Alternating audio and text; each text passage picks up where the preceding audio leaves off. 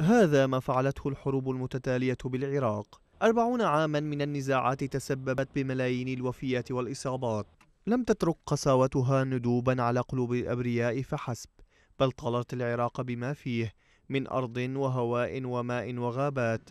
كانت فريسة سهلة لنيران الصراع التي دمرت المصانع ومكامن النفط ونشرت التلوث في كل مكان.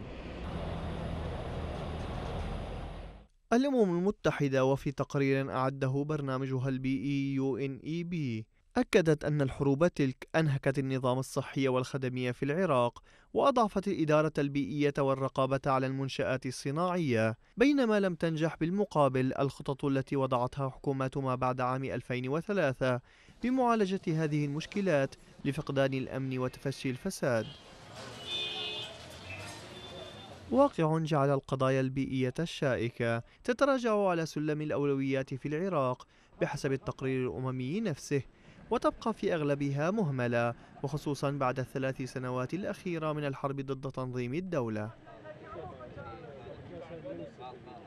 هذه الحرب الأخرى التي يقول برنامج الأمم المتحدة للبيئة UNEP إنها أدت لانهيار تام بالإدارة البيئية في العراق جراء إشعال آبار النفط في ناحية الجيارة وإحراق معمل كبريت المشراق جنوب مدينة الموصل إضافة إلى تسرب المركبات العضوية المستخدمة كعوازل ومواد تبريد في منشآت الطاقة الكهربائية بالبلاد وصولا إلى ملايين الأطنان من الأنقاض في المحافظات المدمرة كنينوى والأنبار وصلاح الدين وغيرها جراء الحرب.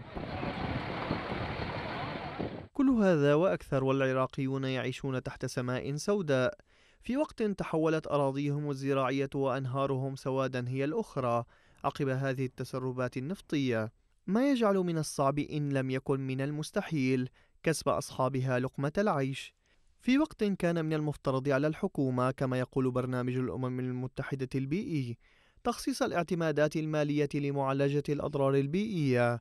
ضمن ملف الإعمار المجمد أساسا والمستخدم كورقة انتخابية بينما يترك الإنسان والبيئة العراقية هما الضحية الصامتة في هذه الحرب.